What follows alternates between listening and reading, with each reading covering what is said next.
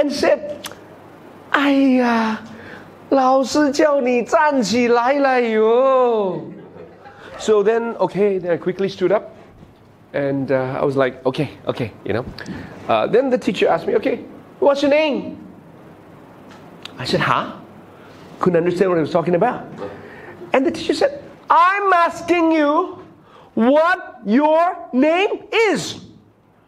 Now, this time, I could understand what she was talking about, but she was so fierce, right? She was looking so fierce. When I was about to say my name, I forgot my name. so I said, my name, uh, uh, couldn't, couldn't say it. And then, and then the teacher was so upset. And she just blurted out something that really changed my life. And so she said in Chinese now. This is a Chinese teacher, right? Chinese Chinese lady. So she said in Chinese, is pointing at me, and he was like, 你你你是从什么山扒出来的啊？为什么一句英文都不懂啊？You know. So then the class burst out in laughter.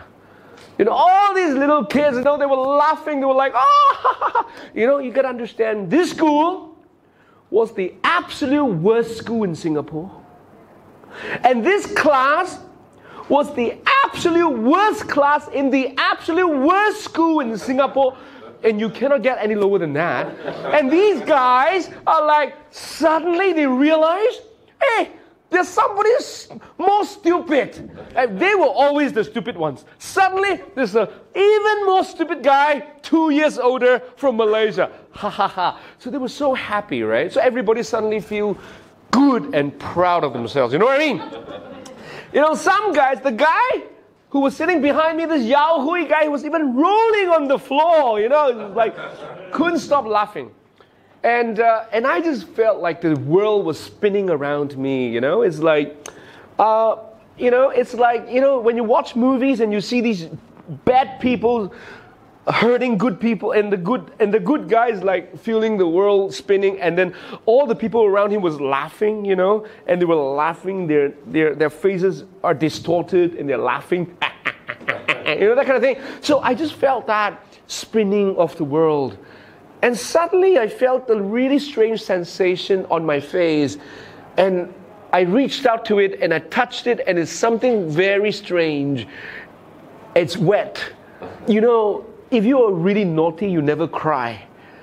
I mean, I couldn't remember myself crying since the age of maybe three. You know, we never cry. We fail, we don't cry. I mean, we, we fight, we don't cry. But at that particular moment, I felt tears coming down and I touched it. I'm like, oh, I cry. I'm crying. My God, I'm crying. and uh, and and then the rest of the class was like eternity. It's like 永恒, you know. And I just cannot wait until the school bell goes off. And then I ran all the way back to the apartment and then I remember getting into the apartment. I slammed, closed the door. I jumped onto my bed. I covered my head with the pillow and I started crying and weeping. And, and it was three o'clock when, it, when, when I did that. And by the time I decided to stop crying because I couldn't cry anymore, the tears were dried, I, I just couldn't cry anymore. I looked up and looked at the clock. It was 7:30. So I cried for three and a half hours. I've, I've cried. I mean, I've cried out all the tears that were accumulated inside. And when I got up after three and a half hours, I did something that changed my life forever. So I said, I, I, I started, I start, started to talk to the divine power above me. I was not, I was a free thinker back then, so I had no religion, but, but I just said, you know, Lao and Lao and you know. I said, uh, you know, I humiliated my country. You see, if they ridicule me, that's fine. Because I am a person who's got no dignity. 没有自尊的人，没有自尊心的人，你骂我打我没有没有没有没有没有关系。But if you humiliated my country, I was patriotic.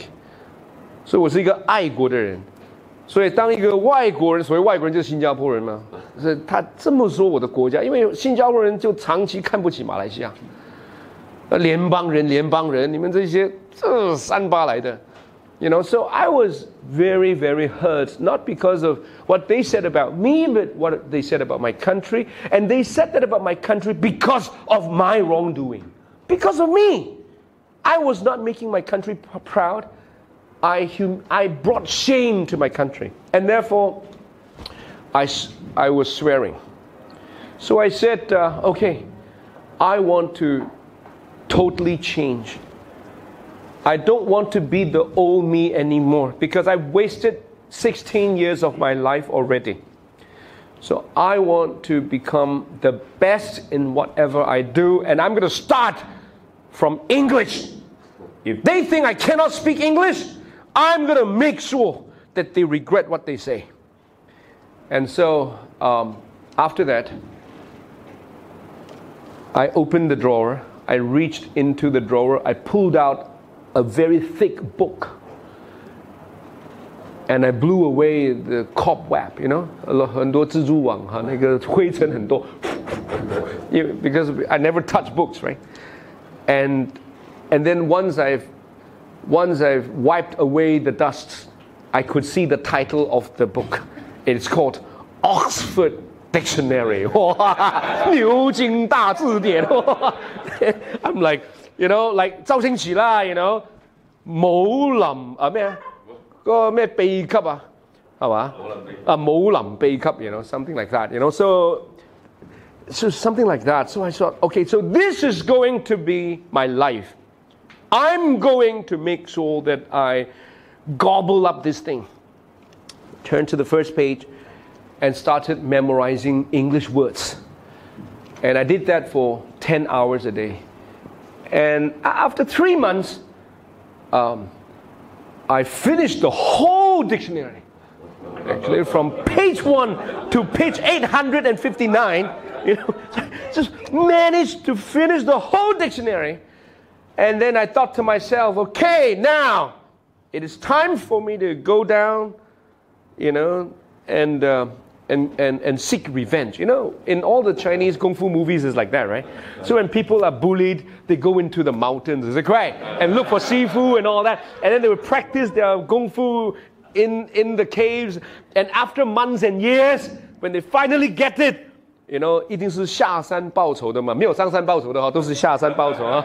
so, so I thought that was what I'm gonna do, and then I thought, okay, but before I do that, maybe let me just uh, flip back to page one and see how many words I still know.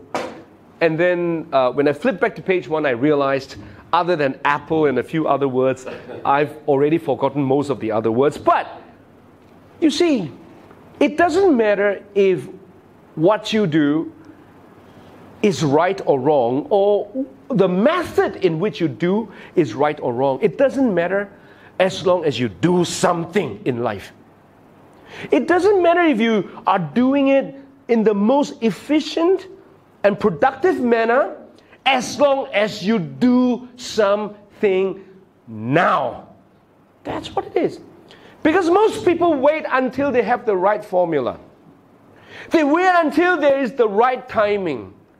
They wait until there is a right, a perfect moment. And those things never come in life. And therefore, what I did was that even though it was the worst strategy, to memorize a dictionary was, is not the best way to learn a language, but because you do something about it, you will gain some rewards. And so, once I became really determined and positive, my life changed. You see, whatever we do, it is just a thought, it is just your decision. I mean, Will there be poverty awaiting you? Or wealth? It's a thought now. 就是一种意念，一个决定而已。 You know, sometimes we overestimate how people became successful. So we look at these really well to do people, we, we think there must be a lot of things they, they know I don't know. There must be a lot of things they do I don't do. And you're wrong. Actually, they know just about the same things as you do. They actually do just about the same things as you do, but they do it with so much more intensity. You do two hours, they do 20 hours. You do two years, they do 20 years. I mean, you have a bit of problems and then you quit. They don't quit. I mean, even if it means going hungry, they don't quit. Even if it means going broke, they don't quit. And because of that, people make it. And so, coming back to my story, because I became the most determined and the most hardworking student Singapore had ever seen, I'm telling you. I didn't sleep. I didn't need to sleep. I just continued to study. I just wanted to make up for lost time. I've lost 10 years of my education. I wanted to make it back. And so I, I went from being the worst student in Singapore to become one of the good students and then one of the, I would say, probably most outstanding students in Singapore. Went from the worst school to the best school. Went from all failed to straight A's. Um, and then I just moved on. And my life is never the same again. And because of that, I developed this passion in helping young people. I developed this passion in helping not just young people, but people in general to help themselves. Because I know there's so much potential that each of us have. If we don't unleash the potential, it is a waste of resources, it is not environmental. I'm telling you. I mean, the Creator has given us an abundance of, of resources from the physical body to, most importantly, the brain that we have and the heart that we have.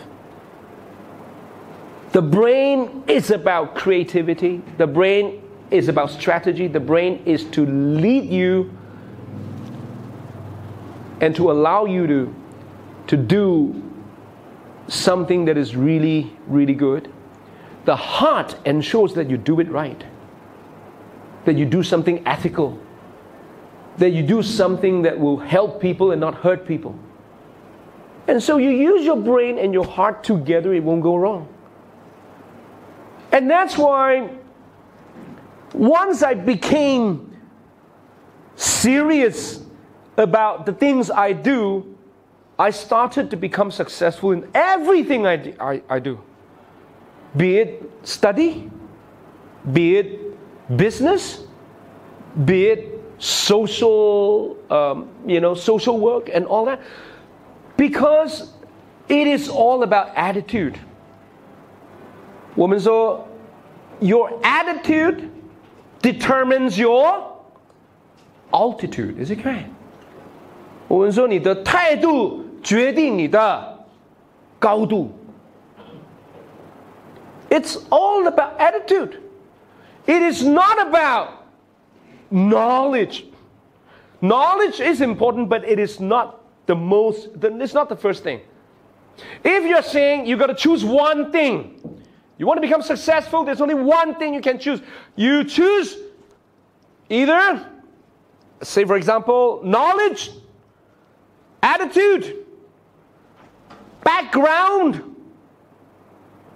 Say, for example, what kind of family you're from. Maybe your parents are rich and all that. Or your attitude, or your qualification, your knowledge. Do you know a lot? So, say for example, you choose among these three things and you can only choose one. I'm not sure about you, but I'll choose attitude. I'll go for attitude. I will not go for background. I was just having a conversation with Dr. and uh, we were saying, you know, I'm looking at the Tan Sri's in Malaysia. Just share with you. I've done a survey of all the Tan Sris, the Chinese Tan Sris. Okay, let's not talk about the Malay Tan Sris. Okay? let's talk about the Chinese Tan Sris. There are 100 plus of them in Malaysia. And I did a survey on the Chinese Tan Sris, and I found that, in fact, a lot of the Tan Sris, they did not go through proper education. They were not. They, were, they didn't do tertiary education. Some dropped out of high school. Some didn't even finish primary school. In fact, many of them. And you wonder why. Well, how come these, these people who did not do what most people did, that is to get a proper education and qualification and all that, and somehow they became, they moved up to the top of the food chain. Let's understand food chain. 食物链，他们这些人在没有任何条件的情况底下，他们上到去食物链的顶端。为什么会这样？When when we say that they did not have proper education, that means they came from poor family. Is it correct? Hey, come on. If you come from good families, of course your parents would ensure that you go through education, blah, blah, blah, blah, blah, blah. If Malaysia can't, they go overseas, right? These guys, they were on their own. And many of them, in fact, were poor as hell when they were young. Nothing to eat. And some were wandering in the streets. And some were fishmongers. 卖鱼的、卖菜的、卖卖面的、做小贩的。I mean, many of them. And how come today they are who they are? There's only one thing they, that they have that the rest of the population doesn't have. And that is that, you know, they have that attitude of never give up. Because if you want to become successful, the road is really, really tough. If you just want to be, if you just want to be mediocre, 如果你只是要平凡，easy, just go get a job. Yeah, it's easy. Just go get a job. Get any job. Come on, in Malaysia, the unemployment rate is very low. In fact, people who are unemployed because they don't want to look for jobs, that's all. Anybody who wants to look for a job gets a job. And so if you just want a job in Malaysia, anywhere you can get a job. But a job is a job. Then ask yourself is that job going to sustain what I want to do for my family? Is it going to realize my life vision. What kind of vision do you have for yourself? What kind of lifestyle you want your family, your parents to enjoy? And you ask yourself, if I don't put myself through hell, I'm putting my family members through hell. I'm telling you. It's selfish. So some people they do an easy way out. Oh, oh, you know, 金刚过，哎呦，very tough，哎呦，and then after a while，哎呦，算了吧，哈，这个，这个，我们不要这样苦了，这样苦干什么？不要这样苦了。那个大钱哪里是我们赚的？人家哎呀，给人家赚呢，我们我们就随便的啦，哈。 and then you go to the hawker center, you know, 人家问你要吃什么，一碗青菜，青菜就好啦，随便吧。这是一种非常自私的心态。这个就是宁可苦了我爱的人，不愿意苦自己。So I think that is really selfish. Because when you don't do your best, you're not going to bring enough financial resources to your family. You're not going to be able to do your best for your children. You're not going to be able to do your best for your parents who've, who've spent all their lives, you know, taking you to where you are. Therefore, I think it's important for us to develop a really, really strong